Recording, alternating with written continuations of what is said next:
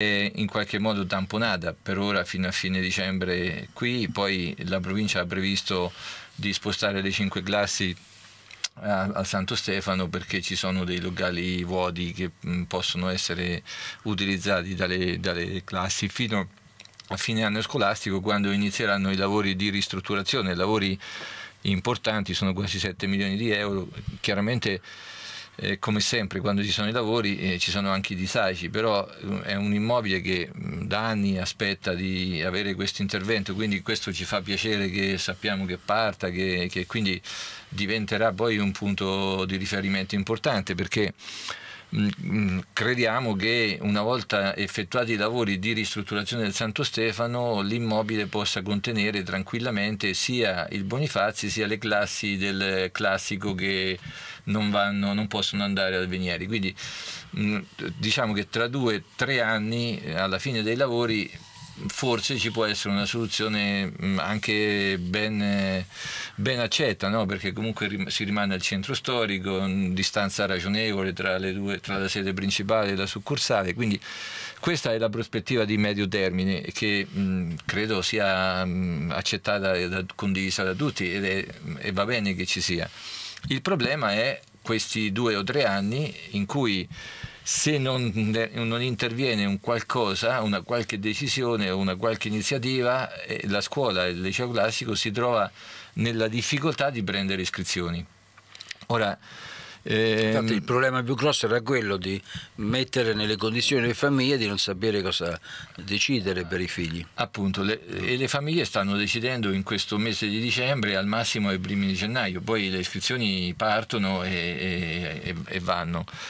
Ora, io cioè, come anche come amministrazione ci siamo un po' interrogati, abbiamo fatto un, un, un ragionamento molto semplice, cioè mh, al di là delle difficoltà della provincia, io tutto voglio fare meno che le polemiche, questo penso che lo si sia capito su questa questione, è una questione seria, importante che mette in gioco il futuro di un istituto scolastico storico della nostra città. Quindi tutto mh, mm, porta mh, mm, vantaggio meno le polemiche, quindi questo è proprio lungi, lungi da, da, questa volontà. Però se la provincia si trova in difficoltà, non ha le risorse finanziarie, almeno questo è, il, eh, è stato il, la giustificazione ufficiale quando si è interrotta la prospettiva eh, durante l'estate di, di risolvere la questione. E, non è possibile che una città come Recanati, un territorio anche più vasto, perché poi il, le nostre scuole, come sappiamo, eh, sono un punto di riferimento per un bacino che va molto al di là del territorio eh, comunale. Complessivamente abbiamo circa 3.200 iscritti nelle scuole superiori, che chiaramente non sono gli studenti che vengono solo dalla nostra città, ma anzi molti sono quelli che vengono dai comuni eh, limitrofi, quindi siamo un bacino di utenza ampio e non è possibile che ci si possa bloccare da, di fronte a qualche decina di migliaia di euro, fossero anche 100.000 euro. E, mh, una soluzione mh, va trovata perché poi quando ci sono altre emergenze o altre cose che, in cui ci si impegna, i soldi in qualche modo vengono sempre fuori. È chiaro che le competenze eh, sono quelle e non è che si possono stravolgere, quindi è chiaro che la competenza rimane della provincia, è chiaro che il comune non può investire su istituti che eh, su servizi che non sono i suoi, no? è come investire in, un ospedale o in un, eh, eh, in un altro tipo di servizio, che ne so, in un, nel, un servizio che riguarda le imposte dirette non lo puoi fare, no? è al di fuori delle tue competenze, quindi rischi anche il danno erariale perché eh, poi la Corte dei Conti queste cose le verifica. Per cui quello che può fare il Comune è massima disponibilità, offrire eh, alternative, ipotesi, conoscendo il territorio e poi quello che abbiamo pensato di fare oggi, cioè coinvolgere le, le forze eh, della propria città. Eh, abbiamo tanti imprenditori, abbiamo tante associazioni, abbiamo una banca di credito cooperativo che è molto attenta alle problematiche del territorio, quindi forse eh, si può pensare a una cordata che possa mettere insieme delle risorse finanziarie che ci fanno eh, sciogliere questo nodo che in questo momento ci sta soffocando, insomma, ecco, come, come città e come istituto scolastico di punta della nostra città. Poi vedremo, insomma, ognuno nessuno si deve sentire obbligato a niente, è un incontro quello che faremo giovedì di, di, con la massima serenità, ci sarà la dirigente del liceo classico, eh, nessuna eh, volontà eh, diversa da questa, soltanto pensare se ci può essere una soluzione anche di questo tipo da mettere sul tavolo. Ecco, una, un mio dubbio, una mia perplessità, cioè il, fatto di raccogliere tramite gli sponsor eh, magari dei fondi che possono essere utili per eh, magari eh, sopperire eh, alla mancanza di una sede, quindi un affitto. Un affitto, quindi significa che quello che è competenza della provincia se lo accolle il comune di Recanati come onere finanziario? No, no, eh, se c'è un, un, eh, un, gruppo di privati che contribuisce, eh. la risorsa è quella e quindi il comune può... Sì, va bene, quindi è i privati che vengono in soccorso alla provincia. Esatto. Ho capito. Ma vabbè, in questa maniera la provincia dice oh, a posto, abbiamo risolto la questione. Però dici io, tu, al di là, al di, là di quello che potrebbe eh. essere eh, utilizzato e sfruttato dalla provincia in maniera non so eh, con quale anche stato dato, animo poi lo farà, eh, è che il risultato si è raggiunto. Sì, eh. appunto, ecco, in questo perfetto, è proprio quello che, che è il, il, concetto. Io non, anche qui non voglio credere no, che la provincia dica vabbè a posto, siamo risolti il problema, non penso. Anzi, no. dovrebbe avere un obbligo ma perlomeno, diciamo così, mm, per perlomeno dire spinte in più. adesso, mm, non, non, non, abbiamo tutta la risorsa possiamo mettere una parte una parte la raccogliamo in quest'altro modo cioè, però ecco non, ci, non, siamo di fronte a un milione di euro di investimento per cui sono cifre irraggiungibili. E allora eh, questo ci può stare. Poi io cap- posso anche capire che la provincia, avendo appunto una provincia intera, eh, non abbia una preoccupazione così pressante su un singolo istituto, cioè in termini eh, semplici può anche pensare che vabbè, se uno non può prendere iscrizioni vuol dire che ce ne sarà un altro, ma per noi città di Recanati questo non è la stessa cosa, cioè sapere che il nostro liceo classico Giacomo Leopardi a Recanati non prende iscrizioni, cioè io non, eh, Beh, vabbè, non, è, non mi voglio non arrendere, top, non mi voglio arrendere a certo, questa, certo. anche perché immagino che andremo sulla stampa nazionale, insomma diventerà un caso nazionale perché succede questo dopo. No? Non, adesso senza nulla togliere ad altri territori, ma è un liceo classico che porta il nome di Giacomo Leopardi e noi non riusciamo a fargli fare le iscrizioni. È vero che abbiamo anche il classico Leopardi di Civitanova, eh, abbiamo sì, Scuola sì. Leopardi di Macerata, non so che istituto sia. Eh, ce ne saranno ce ne saranno migliaia di scuole Però Leopardi. Sta Però sta Recanati, sta nella città di Leopardi. No, ma la questione è che comunque se si dovessero trovare i soldi per poter pagare l'affitto, una soluzione soluzione eh, temporanea o comunque una soluzione fattibile sarebbe quella dell'ex ufficio delle entrate, quindi Ma sicuramente altri, altri locali non sono stati individuati. Mano, sì. eh e il professionale semmai oh, per eh, viaggia per proprio conto. Voi, non ci sono preconcetti, no? quella è una scuola dove noi abbiamo portato le scuole medie, però per esempio abbiamo sentito insegnanti, genitori con una grande contrarietà perché comunque ci, de- ci sarebbero dei disagi. Poi eh, noi abbiamo sopportato dei costi di trasporto importanti, per cui se il problema è un Vero. problema finanziario, sommare l'affitto ai eh, trasporti, stiamo lì. Non credo diciamo. che agevoli, probabilmente costerebbe parecchio di più, insomma, perché i trasporti costano. Io non voglio dire un numero a casaccio, ma spostare le classi come abbiamo fatto noi costare, potrebbe costare attorno ai 100.000 euro o, o giù di lì, quindi in un anno. Ora, noi abbiamo un filo diretto di circa un'ora, perché poi abbiamo altri ospiti, quindi se volete eventualmente fare una domanda al sindaco, fatela la domanda eh, in maniera telegrafica. Pronto? No, non è per noi. Io questa mattina, e eh, poi chiudiamo questo discorso perché poi magari eh, giovedì ci sarà questa assemblea, quindi avremo modo di tornarci.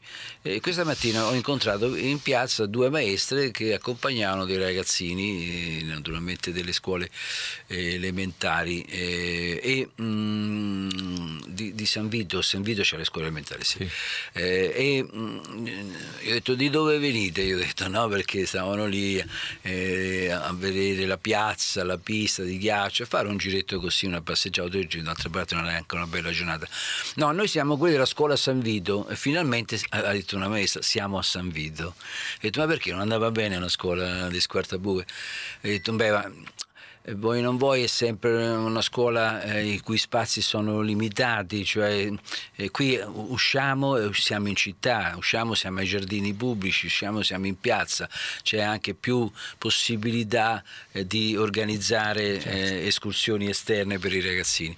Per dire il centro storico quanto sia importante, no?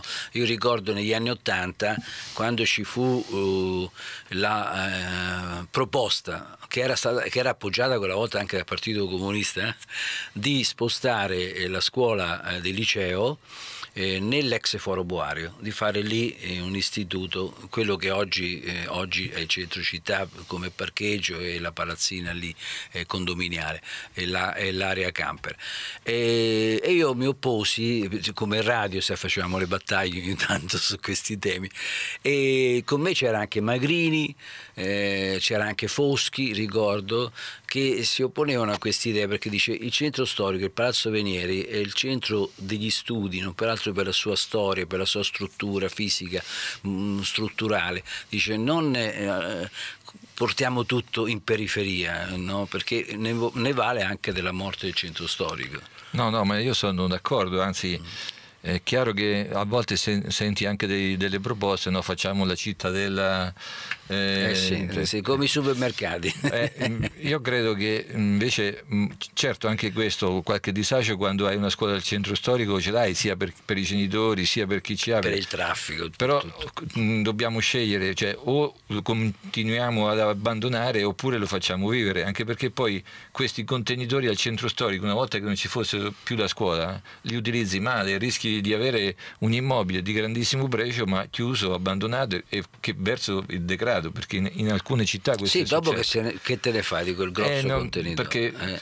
Tu, non è che puoi eh, fare un altro centro culturale. È facile dire facciamo i centri culturali, ma no. poi serve mantenerli, gestirli. E poi saperli gestire e farli funzionare per portare gente, non è una cosa facile. La scuola è non plus ultra secondo poi me. Poi è chiaro che quando noi siamo andati a Squartavue, allora, avevamo il cantiere, ma c'era anche il Covid, quindi ci veniva dall'alto, ci venivano eh, tutte indicazioni per dire portateli anche nelle, portate le scuole anche nei capannoni industriali, purché siano ah, spazi aperti, ampi campi no? in cui ci, circuitano aria, quindi quella è stata una soluzione in quel momento quasi ottimale perché abbiamo fatto delle classi spaziosissime, c'è l'aria condizionata estate-inverno, quindi perché... Non vi immaginavate di poterli eh, mandare per tre anni giù perché pensavate che i lavori fossero... Ma, un paio d'anni sicuramente li eh, potevano previsti. essere terminati prima. Benissimo, allora... Eh, per la fine dell'anno voi porterete, come consuetudine ormai no? da, diversi, da, diverse amministrazioni, il eh, bilancio di previsione in consiglio per la sua approvazione. Eh, io ho visto già, eh, così curiosando, eh, che ehm, aumenti di tariffe sostanziali non ce ne sono, al di là della Tari, che eh, però quella è una questione legata alla mancata individuazione di un sito che ci porterà un 9% in più eh, di eh, tassa per il 2024 e un altro 9% in più per il 2025. In due anni avremo un aumento da dare del 20%. Ora, Sindaco, io... Um, ho letto, non so se poi sia vero, bisogna che approfondisco questa notizia, eh, che anche la Fede del Consumatori ha sollevato oh, il problema eh, di una sentenza della Corte di Cassazione che dice che la Tari non è una tariffa ma è una tassa, quindi non può essere applicata l'IVA. Sa niente di questo?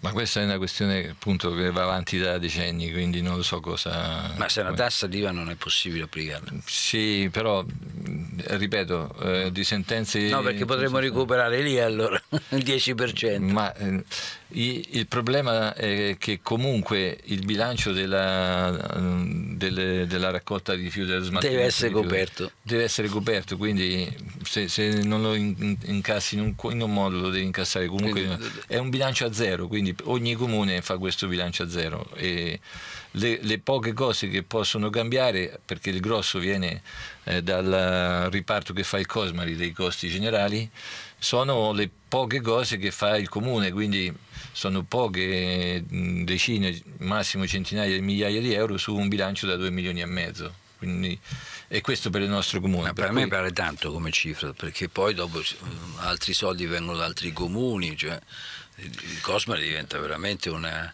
una realtà dal punto di vista economico ma abbastanza impegnativa, mastodontica. Ma sì, è una grossa realtà, eh. 400 dipendenti, quindi è chiaro che è una realtà import- anche importante nel territorio. Eh, poi anche lì eh, in questi ultimi anni i costi energetici, l'aumento de- de- dei costi del carburante cioè, hanno inciso molto eh, anche su- sui costi di- del Cosmari e quindi è chiaro che poi la- anche lì per mh, mm, quadrare il bilancio e non andare in perdita questo viene ribaltato sui comuni che, sono, che usufruiscono del servizio. Poi ecco, il problema della discarica è un problema che ha aggravato la situazione perché non abbiamo più una discarica nostra, siamo costretti a portare i, rifiuti fuori dalla provincia di Macerata, in gran parte a fermo, con costi più alti e questo si va a sommare a una dinamica di aumento dei costi dovuta ad altri fattori e, e, e il risultato è questo, questa previsione di, di aumento. Senti, eh, allora, questo bilancio che cosa, ecco, cosa dobbiamo questo, aspettarci? Ma allora abbiamo visto appunto questa situazione complessiva non del tutto rosea per quanto riguarda le famiglie e noi abbiamo cercato di evitare assolutamente ogni aumento di, di tariffa, quindi tutto quello che, che era mh, già nel 2023 verrà confermato nel 2024, mh, parliamo di imposte e tariffe in generale. Poi eh, la dinamica di aumento dei costi chiaramente si ripercuote anche sul comune, noi l'anno scorso nel 2022 avevamo avuto un forte aumento del costo delle eh, delle utenze in generale nel 2023 leggermente si è ehm, diciamo un po' attenuato, attenuato però eh, rispetto al, agli standard degli anni precedenti sono sempre qualche centinaio di migliaia di euro in più e questo va in, a incidere su una parte del bilancio che, che è la spesa corrente che ha già di per sé eh, una sua sofferenza. Sono, in pratica, tutti i bilanci di tutti i comuni hanno questa sofferenza sulla parte corrente. E anche qui eh, chiaramente qualunque servizio sta costando di più perché eh, i contratti dei dipendenti mh, chi più chi meno si stanno rinnovando tutti con degli aumenti ed è giusto perché comunque il costo della vita sta aumentando per esempio i servizi che si affidano all'esterno, quelli con, eh, nel sociale, molti no? eh, che, che eh, vengono affidati a cooperative esterne hanno avuto degli aumenti importanti questi, già dal 2023 e si confermano nel 2024. Quindi c'è una tendenza all'aumento dei costi dei servizi, c'è anche una tendenza particolarmente nel sociale, ad una maggiore richiesta di servizi. Questo ha, dopo il Covid è una dinamica che abbiamo riscontrato e che non accenna a, a, a tornare indietro, cioè servizi che prima del Covid avevano un, un, una certa quantità di utenti, parliamo sempre nel mondo del sociale, eh, dagli anziani ai disabili, a, a, all'assistenza scolastica, tutte queste cose qui. E quantitativamente sono aumentati, quindi non sappiamo se prima le persone si rivolgevano di meno a, ai servizi comunali oppure se proprio è una dinamica eh, che c'è più richiesta? Eh? Assolutamente sì. Ma, Ma dovuta a un aumento del disagio sociale economico? Mm, ecco, più economico eh, che sociale. Le cause non è facile individuarle, però è così e quindi è un, una, una parte del bilancio che impegna sempre di più, quindi si fa difficoltà a, a quadrare i, i, conti. Dall'altra parte le entrate purtroppo, oh, io non, non voglio pensare che, che, si debbano aumentare le entrate che sono in gran parte tasse, però se le entrate restano sempre ferme e le spese tendono a crescere fai sempre più fatica a, a, quadrare il bilancio, a mantenere il livello dei servizi e, e a fare tutto quello che, che viene richiesto. Questa è un po' la situazione che quindi verranno chiesti dei sacrifici? No, no, il bilancio no. è in linea con quello del 2023, non, però ecco, ancora no, riuscito a tamponare. Però non hai quella eh, possibilità di ecco, soddisfare tutto quello che, che sarebbe magari eh, richiesto. No? Eh, a, a Ma nel sociale avete un'idea di quanto spendete? Sì, siamo sui 2 milioni e mezzo. Mm. 2 milioni e mezzo di rifiuti, 2 milioni e mezzo del sociale, eh. per un bilancio totale di 18 milioni. 18 milioni. Ho capito, quindi, eh, poi però avete la grande entrata per le, le multe, dai. No, beh, le multe... però quelle per metà ve le porta via la provincia. appunto. Almeno quelle della Duelex. Poi c'è, c'è, un, c'è, un, costo per la riscossione, insomma, pure le multe che Non sembra, tutte le pagano subito. Che, che sembra chissà che cosa sia. Certo, è, un, è un'entrata, va bene, in gran parte quella che rimane viene poi destinata alla sicurezza sulla viabilità perché c'è la legge che impone proprio delle percentuali di, di spesa eh, su, su, quelle che sono le entrate, quindi non riesci a fare altre cose con, eh, con, con le multe. Quindi previsioni anche per il personale non se ne vedono di, di, di aumento di organico, soprattutto Ma, eh, eh, si è detto sempre che è molto carente quello della polizia municipale. Ma mo, molto carente, è un po'... Beh, 12 persone, 13 con la comandante. Sì, 13 persone, sono... però siamo così sui 13-14 da, da, anni e poi, vabbè, poi, facciamo le assunzioni a tempo determinato durante l'anno, 3-4 assunzioni le facciamo mm, sempre. Mm, quelle stagionali sì, diciamo così. Nel periodo estivo quando c'è maggior richiesta di servizi. Mm. Poi il grosso del bilancio invece sono gli investimenti, qui è chiaro che la massa di contributi che, che, ci sono arrivati dal sisma, dal PNRR, insomma sono decine. Sisma cos'è? Diciamo, Beh, la, la, la, PNR ormai lo sentono tutte le sere in televisione, sono no, i fondi europei, beh, i fondi di resilienza. Così. Sì. Il sisma, eh, eh, ah, sisma proprio sisma, ho capito, ah, sì, pensavo che era un acronimo. No, no, no. Eh, no proprio dovuto al terremoto. Eh, sì, lì, insomma, la, la Beniamino Cigli, sì, il palazzo comunale. Ma quei famosi 16 milioni che avevano dato per il palazzo sono, comunali, no, sono, sono congelati ormai? No, erano non, non, 16 ma erano 8. Ah. E di questi circa 800.000 serviranno per la palazzina che ci hanno fatto costruire esternamente giù sì. di fronte al cimitero e lì a, a primavera iniziano i lavori e gli altri sette e qualcosa saranno spesi sul palazzo comunale. Quindi... Saranno spesi sul palazzo comunale, certo. perché è ancora puntellato in alcuni punti, vero? È puntellato e c'è tutta un, eh, parliamo... tanto a norma non ce lo si può mettere il palazzo a meno che non lo demoliscono tutto e lo rifanno da capo diciamo non può diventare un edificio strategico e per questo abbiamo dovuto costruire la palazzina apposita per gli uffici eh, strategici in caso di emergenza però per tutto il resto c'è un miglioramento sismico importante no? con interventi di eh... ma questi ormai sono lavori che ma vanno un po' in là. Po in là Mentre invece eh, eh, dovrebbero essere immediate l'apertura del cantiere per la Gigli, sì. scuola. Sì, eh, manca l'ultimo parere della sovrintendenza e poi la ditta con cui abbiamo firmato il contratto d'appalto può eh, veramente mettere i... Ancora deve arrivare il suo benedetto parere. Ma, mh, mm, sì, Ma che deve dire la sovrintendenza? Perché è zona vincolata quella? Eh, C'era già un palazzo prima? Di una scuola? Sì, eh, eh, cioè, è lunga la storia. Quindi sì, vabbè, è inutile che ogni, se no prendiamo il no, tempo. No, no, ma a ogni passaggio in cui tu vai a cambiare qualcosa, eh, vabbè, il, progetto ha già avuto il parere favorevole della sovrintendenza quando era un preliminare poi ce l'ha avuto col definitivo, adesso siccome la società che è stata incaricata, che ha vinto d'appalto, era un appalto integrato, quindi ha fatto anche la progettazione esecutiva. E adesso per anche per l'esecutivo. Per l'esecutivo serve il parere, siccome l'esecutivo non ha cioè, cambiato... Cioè, però che tutto questo... Non ci aiuta. Lo, lo, vediamo che è assurdo, rallenta molto le procedure, però non riusciamo a superarle, io non ho capito. Boh. Pronto? Ci sentiamo? Ma allora, eh, scusa, eh, io quasi quasi blocco il telefono, a questo punto si, si dà solo che fastidio.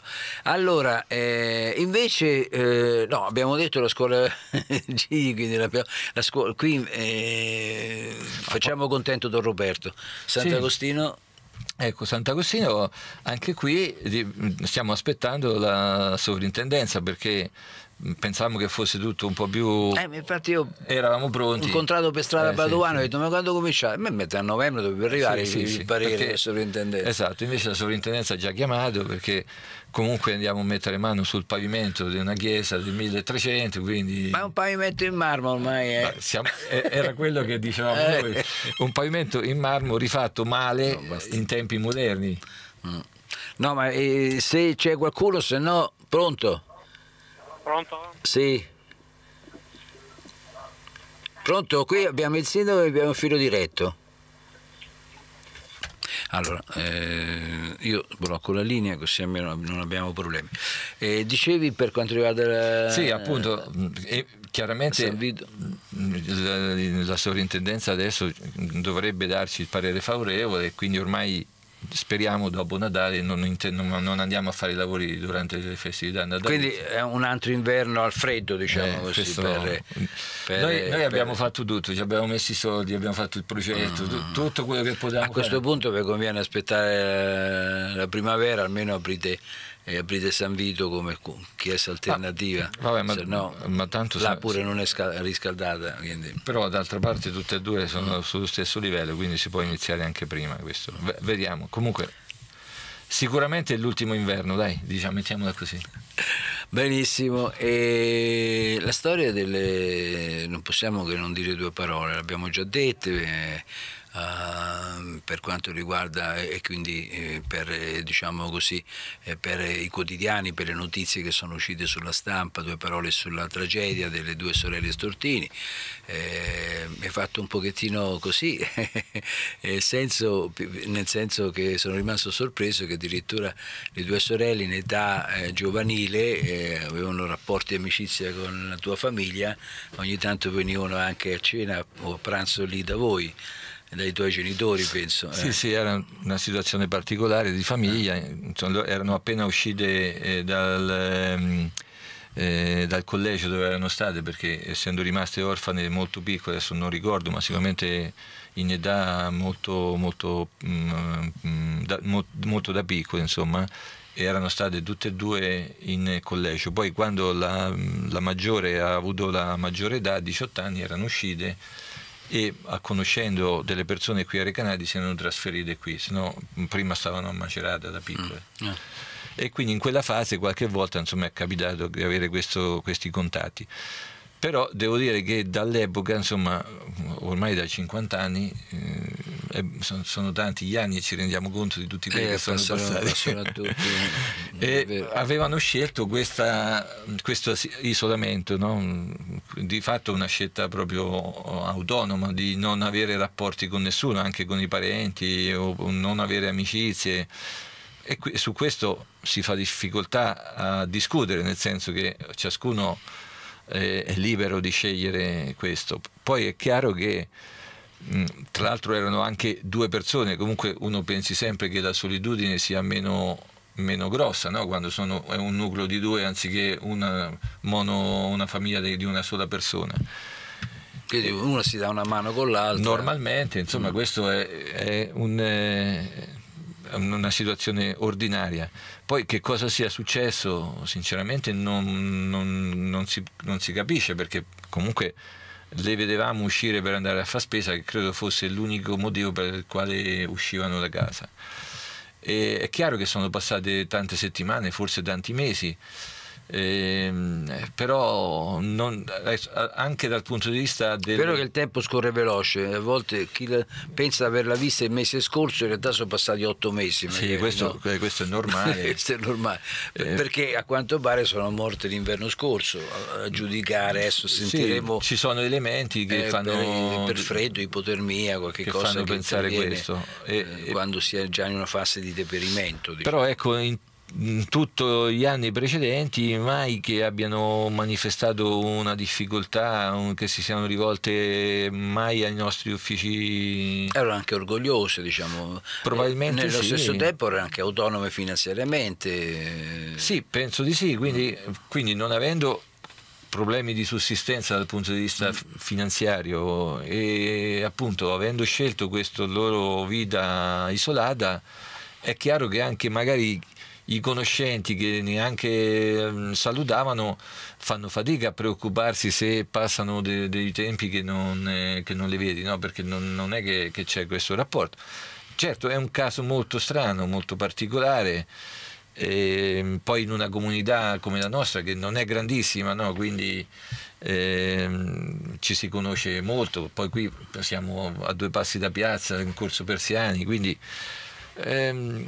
uno ci si interroga, dice ma che comunità è questa? Che eh, a un certo momento no, sfugge questo dramma per otto mesi eh, perché magari abbiamo fretta, abbiamo le nostre cose, non pensiamo eh, tanto all'arresto e forse sì, c'è ogni tanto un lampo, un ricordo, ah è un pezzo che non le vedo più, ma forse dipende più dal fatto che eh, non c'è stata questa coincidenza che non pensi che addirittura ci sia dietro una tragedia. Sì, Eh. io devo dire che noi abbiamo una comunità anche molto, molto viva, molto con tanti rapporti, no? basta pensare al mondo dell'associazionismo ricchissimo, quindi del volontariato assolutamente molto, molto propositivo, molto partecipato e quindi di solito queste sono le vie per, con le quali si, mantiene, si mantengono i rapporti all'interno della comunità però evidentemente anche in queste situazioni tutto sommato buone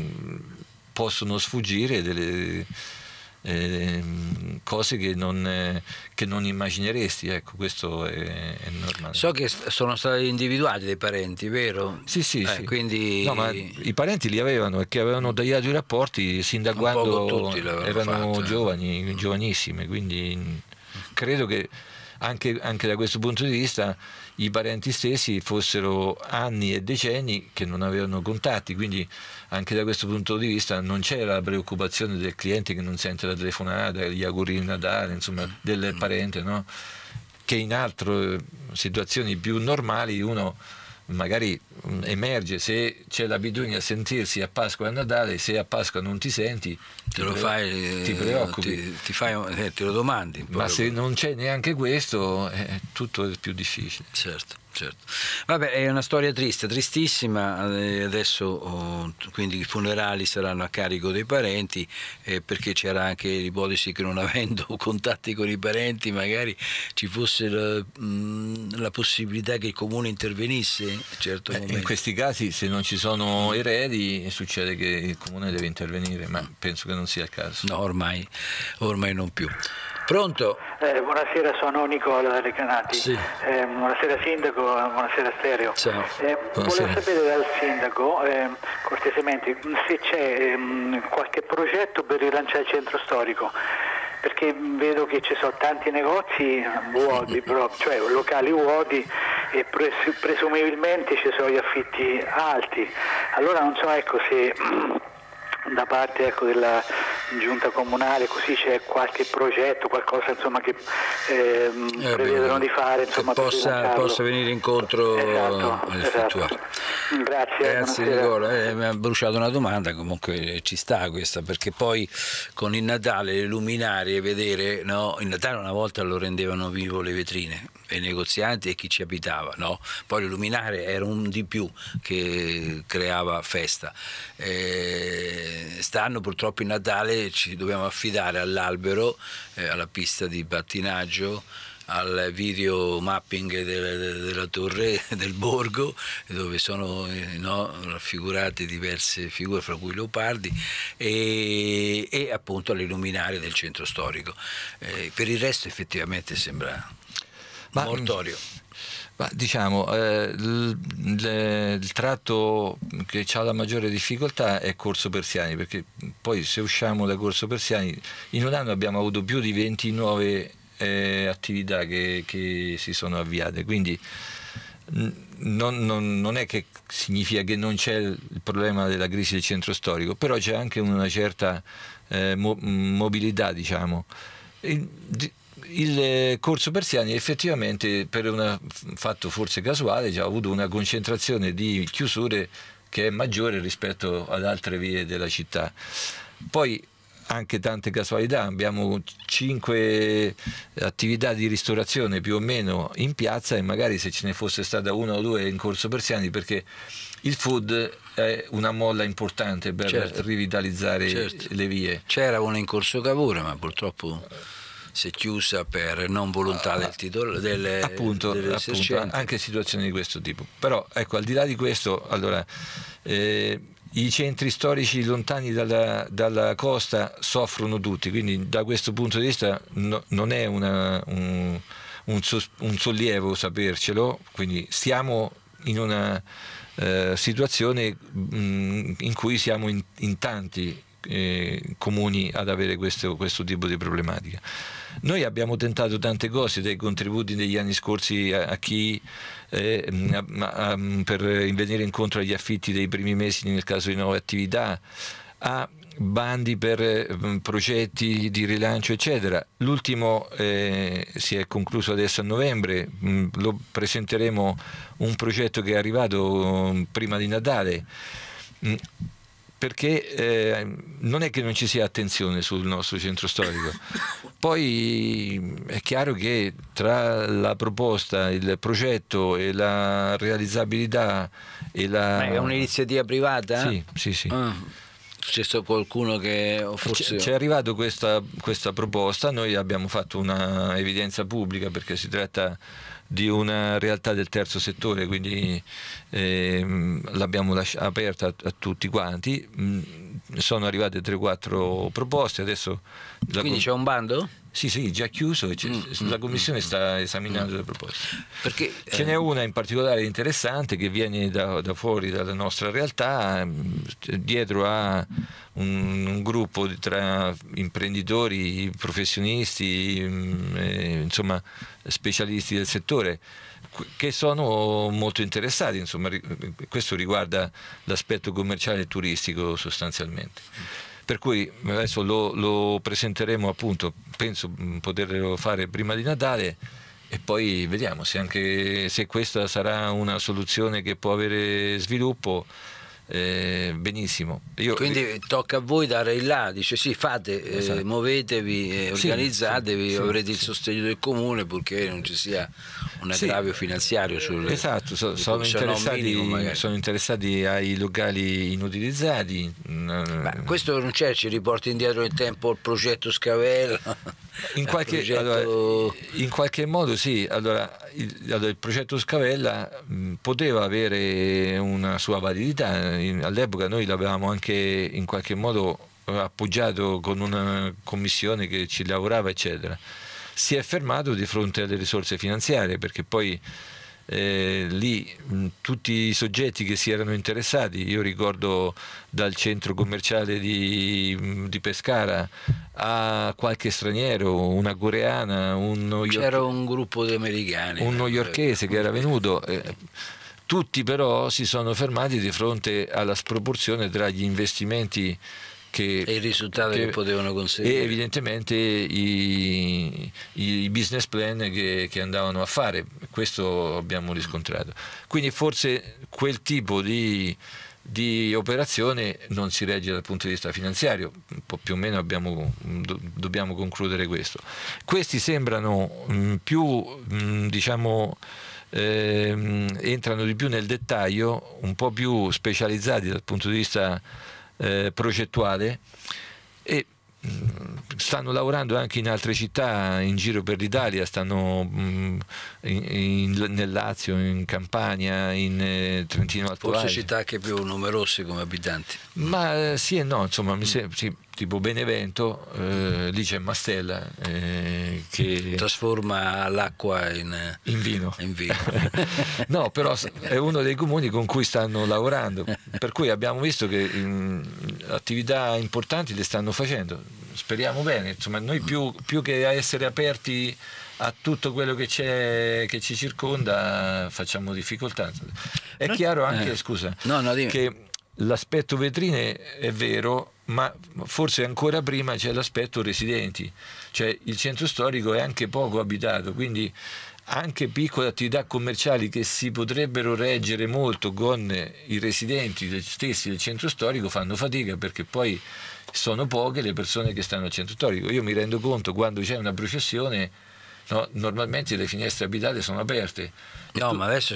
e tu ti rendi conto No, che Questo è vero. per decine e decine di metri, Ma è un metri po' l'uovo e la gallina, a questo punto forse bisognerebbe più spingere per un ripopolamento del centro storico, far capire che il centro storico è, che il centro storico è una- un luogo secondo me invidiabile, mm, perché mio figlio ad esempio c'è una casa alle Grazie, la vuole vendere alle Grazie ed è perché eh, ha preso una casa sotto la torre, Ma- dire, eh, vuole rimanere al centro storico perché eh, anche se è povero, però è un nucleo sempre che rimane eh, parte storicamente affascinante. E poi comunque tanto tu- tutti gli avvenimenti avvengono tutti qui, no? ogni iniziativa viene qui, c'è anche il cinema persino della Sala Gigli che Sì, sta al certo. centro storico, cioè Ma non sta noi- più in periferia come le multisale. Noi vediamo che Vediamo se per noi, pronto?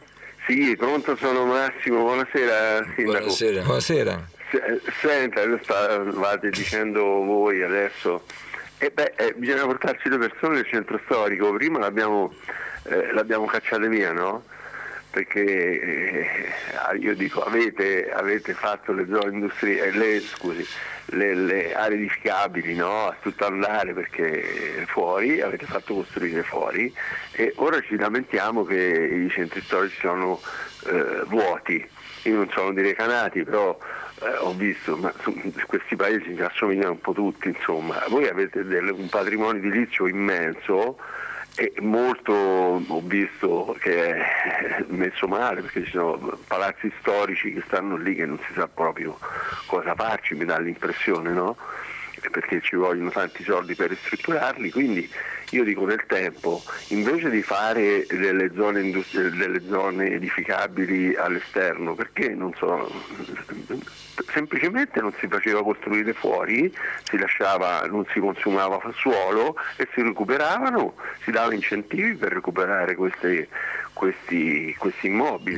Io, io mi spaventa a vedere tutta quella roba che non so come, come potrete sistemarle, perché alla fine quelle diventano addirittura un pericolo, no? Quei, quei vecchi palazzi che sono tra l'altro bellissimi, no? Certo. Non so come, eh, lì, lì c'è veramente da fare tanto.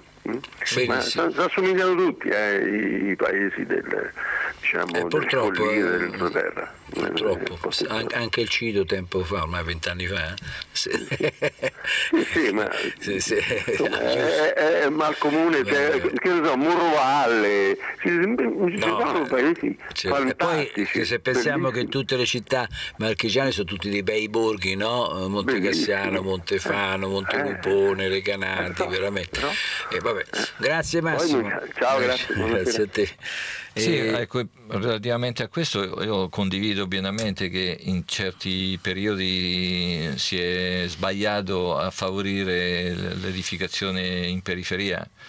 Più che altro, insomma, questo noi almeno a Recanati lo abbiamo avuto una ventina d'anni fa quando c'è stato il boom dell'edilizia e, e c'è stato nei primi anni 2000 fino al 2008-2009 eh, questa proliferazione di abitazioni in periferia.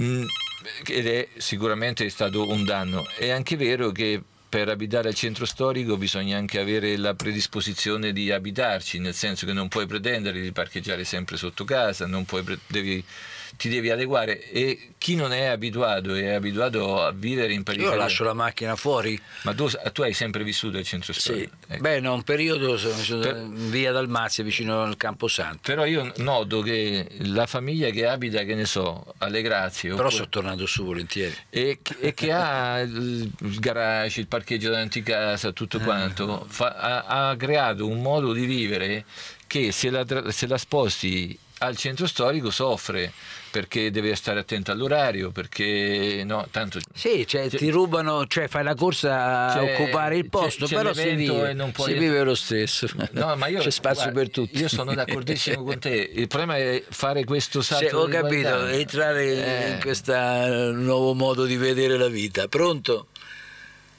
Sì, no, buonasera, forse sto intervenendo in trasmissione, ma era una chiamata privata. insomma. Allora, privata, semmai più tardi, la ringrazio, adesso siamo in diretta.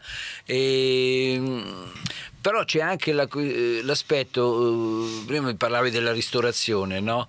Eh, a parte Massimo, ti devo garantire che i palazzi tutti del centro storico, non dico quelli delle vie laterali, perché quella era la zona abitata, eh, diciamo cosiddetta povera una volta, ma tutti i palazzi del centro storico sono meravigliosi perché non capisco, ma quella volta curavano i soffitti con delle affresche. È anche vero che dipinti, con, dei- con il sisma bonus e non penso che ci voglia tanto per sistemare ristrutturando, ce ne sono eh. tanti di cantieri eh, al centro storico. Sì, sì, ma io ne ho visti quattro, ma quello è per un bonus, penso, della facciata, eh, quindi un bonus edilizio in via Simboli, ce ne sono Sì. tre dei cantieri. Eh, ma i, recu- i recuperi ci sono perché con, eh, anche col 110 eh, Eh, Infatti il governo adesso si è lamentato Giorgetti, anche per il prossimo anno dobbiamo recuperare, vengono all'incasso altri 20 miliardi. Pronto? Pronto, sono Maristella, buonasera Stereo, buonasera Sindaco. Sì, sei Buonasera. Maristella, curati, dimmi. Allora, come? Sei raffreddata? Sì, anzi sono in via di guarigione. A posto, a posto. allora, eh, a proposito di far rivivere il centro storico, la mia domanda è questa, sì, bisogna adeguarsi perché ci sono le chiusure, però io non riesco a capire, quindi ch- chiedo dei chiarimenti, eh, determinate chiusure, determinati orari, quando magari in centro non ci sono manifestazioni. Io ho notato una sera, una domenica sera, che eh, diciamo tra le 9, tra le 21 e le 22, in centro a Recanati non si entrava, a Porto Recanati si entrava e non c'erano manifestazioni, niente del genere. Ma Quindi, quando questo? D'estate? no, no, poco tempo fa. Eh, non c'è più l'isola pedonale? eh, Come poco non- tempo fa c'era la, la la, scritta. la domenica, la domenica. Ah, domenica? Ah, Sì, sì, di, do- ho di domenica. Ah, ho di capito, ho domenica. capito. Sì, ma c'è lì l'isola pedonale per 24 Eh, ore. sì. invece a Porto Recanati in quell'orario si entrava. Eh, dopo non, non ci lamentiamo se le persone vanno a Porto Recanati. Quindi volevo capire queste chiusure prolungate a che cosa servono quando non ci sono manifestazioni. Grazie. Benissimo, benissimo. Vabbè, eh, Ah, questo è un argomento che mm, ah, potremmo aprire e finire non so quando, nel senso che eh, noi tutte queste aperture prolungate non le facciamo, adesso c'è l'isola pedonale un giorno a settimana, un quindi, giorno festivo. quindi non mi sembra che, che sia così esteso. Poi durante l'estate abbiamo fatto delle fasce orarie un po' più ampie perché comunque intanto abbiamo molti turisti e quando noi andiamo in vacanza, se dobbiamo guardarci dalle auto che ci mettono sotto, mh, quella città non fa una bella figura, questo dobbiamo ammetterlo perché poi in vacanza ci andiamo tutti e il turista che non conosce bene la strada e deve stare attento, non neanche riesce ad ammirare la città perché deve guardare le auto, non è una bella cosa. Quindi lo scopo qualche- di qualche intervento è questo. In più ci sono sempre due correnti di pensiero, c'è quella come quella di Maristella che dice se chiudi danneggi e c'è quella che, contraria che dice se tu ci metti le macchine non ci sono le persone. Quindi dovendo mediare abbiamo fatto degli interventi molto minimali, credo che non siano stati questi il problema Del serio del centro storico. Lo penso anch'io. Invece un, un problema che viene sollevato oh, è quello di poter eh, far sì che anche i gazebo che funzionano benissimo d'estate possono funzionare anche d'inverno. Forse qualcuno l'ha chiesto anche che venissero eh, autorizzati quelli chiusi, eh, in modo che, ehm, perché tanto anche il fatto di concentrare in piazza un tipo eh, di ristorazione anche diversificata no, può contribuire a, a, far frequentare la gente la piazza, perché piace, purtroppo oggi fra aperitivi e cene fra amici o o convivi sì, vari, magari incontri anche al bar, queste ormai di pragmatica per la gente. Anche su questo purtroppo abbiamo avuto un blocco da parte della sovrintendenza molto rigido su Piazza Quindi avete chiesto per l'autorizzazione? Sì, cioè, ci ero andato io con, il, con l'architetto. Mamma mia, stavo sovrintendenza. credo che il problema sia anche qui una situazione particolare perché eh, i gazebo andrebbero messi in mezzo no? Mm, De, della piazza come stanno mm. i, i, tavoli e quindi questo effettivamente mettere quattro gazebo in fila significa per la sovrintendenza poi tutto è discutibile mm. stravolgere completamente quella che è la... se li mettessero a ridosso dei probabilmente esercizi, sarebbe ma più... dopo occuperebbero la strada eh questo è, è vero che c'era tentato anche in tempi passati. Sì, c'è sempre stato. Allora, diciamo pure che questo attraversamento della strada da parte del cameriere non è che sia il massimo, quindi è, abbiamo, è, è una criticità oggettiva perché se i gazebo fossero eh, sempre fatti in maniera molto elegante, eh, aderenti alle, ai palazzi, probabilmente, come vediamo in tante piazze, eh, probabilmente sarebbe più facile poterli eh, farceli autorizzare. Ecco. Eh, sindaco, un'ultima cosa, oggi ho parlato con eh, Cesare Michelli, anzi mi ha telefonato lui perché aveva preso alcune notizie di stampa che c'erano stati dei furti recanati, lui che ha una delega sì. alla sicurezza eh, e mm, mi aveva sottolineato il fatto eh, che eh, purtroppo ci sono anche delle cose, criticità che devono essere superate, eh, fra cui quella della videosorveglianza che non sempre funziona, tanto che il comune sembra abbia dato in appalto adesso una ditta la manutenzione delle telecamere. No, allora, l'appalto eh, serve a rinnovare la, la manutenzione che, che, abbiamo contrattualizzata, quindi mm. ce l'avevamo già da prima, è il rinnovo. Ah. No, le telecamere c'è sempre qualcuna che non funziona, poi insomma, c'è la manutenzione, però ne sono 80 e quasi, insomma, in gran parte, diciamo su 80, 60, 70 funzionano sempre. Il problema delle telecamere è che comunque per quante ne hai non copri tutto il territorio. Io purtroppo ho una famiglia che due volte che mi chiama perché mh, ha, tenta- ha, avuto due tentativi, poi l'allarme ha messo in fuga i ladri. E... Non è quella di Nicola Antonio Sacco, no? Eh, esatto. perché? Perché me l'ha detto lui. Eh, sì, mi ha chiamato la moglie. Eh. Io purtroppo capisco anche l'esagitazione del momento perché comunque c'è lo spavento tutto quanto, però è chiaro ho cercato anche di spiegare che è impossibile pensare che ogni abitazione possa avere la copertura, cioè forse dovremmo farlo satellitare, non so che cosa dovremmo fare, perché tra l'altro la sua è una situazione particolare, il, il, retro dà verso la campagna. Sì, è vero, eh, verso eh, i fratelli Farina lì sono eh, un po'. Esatto, quindi in, la videosorveglianza è un ottimo strumento, ma non risolve tutti i problemi, questo lo, lo abbiamo visto. Poi abbiamo un paio di situazioni di, come dire, di non, non degrado ma di eh, attività di danneggiamenti così anche qui eh, siamo sempre in contatto con i, con i, carabinieri che ogni tanto fanno la, la, la loro perlustrazione. E, è chiaro ci dicono quando mi capita di parlare con eh, le forze dell'ordine mi dicono ma tu che pretendi che a Recanati non succede mai niente no anzi anzi, anzi. questo no, non sì, perché sì.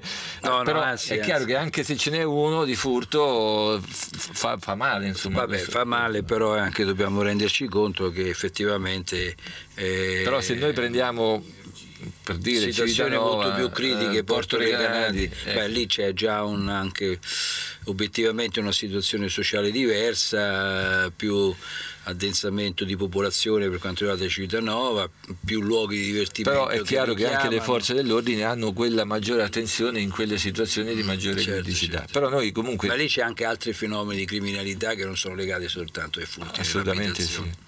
Però ecco, comunque siamo sempre alla ricerca di soluzioni con eh, l'implementazione della videosorveglianza e con altre misure, insomma, di, di- anche gli educatori di strada stanno, stanno lavorando a, a Villa Teresa. Eh, insomma, c'è da, da fare tutto, non basta soltanto la, mh, la- la videosorveglianza perché eh, non, non risolve il 100% del problema.